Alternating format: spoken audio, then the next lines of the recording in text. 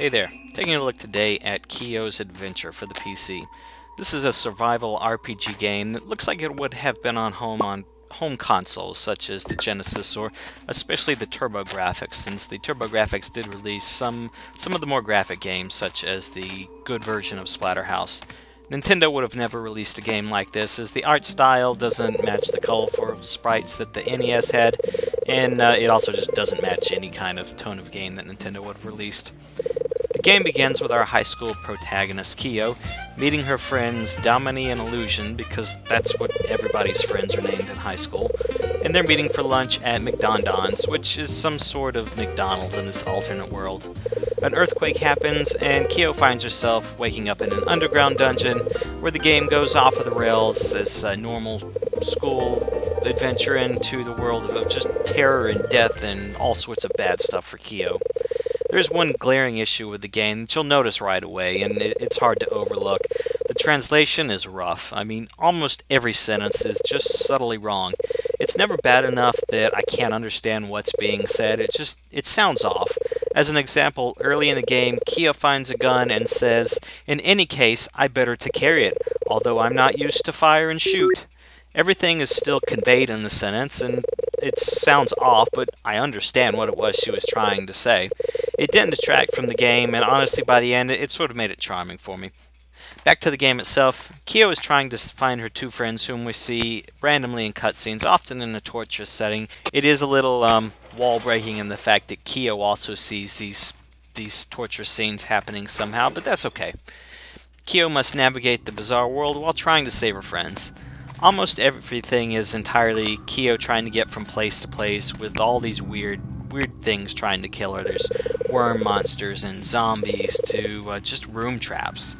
Kio isn't completely defenseless, as she can find a few weapons in the world, but ammo is in limited supply, and fighting her way out of situations often isn't the best answer.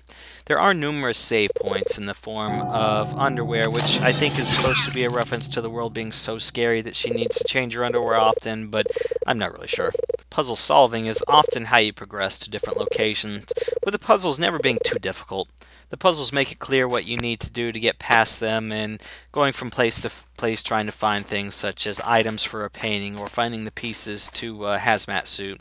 It doesn't mean you won't die often trying to solve the puzzles because you are going to die a lot, but it does um, spare the frustration of not knowing what to do. Me personally, I can't stand puzzle games where I just have no idea what it is I'm trying to do next. If I know what I'm trying to do next, then the issue is just me trying to figure out how to do that next step or how to find the next item. That I'm okay with.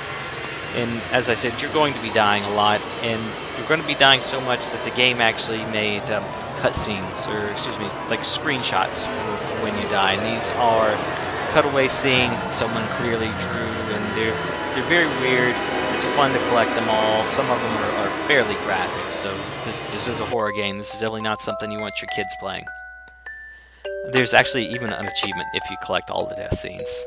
This game does offer a nice variety of settings, from the initial dungeon that you're trapped in, to being stuck in an apartment, to an aquarium, and other places. I really enjoyed the fact that this wasn't just an underground dungeon where you're stuck for three hours. There's, there's a nice change of setting, and you, you're not stuck in one place too often before the scenery changes. You know, my personal favorite was when uh, was trapped in an apartment with someone after her, as the confined space made it feel very tense. There are secret locations in the game that you can find. Most of them are just there for ambiance, and they're just fun to find. They do count towards an achievement, and the game does encourage exploration in the form of finding these secret locations as well as finding ammo that you will need.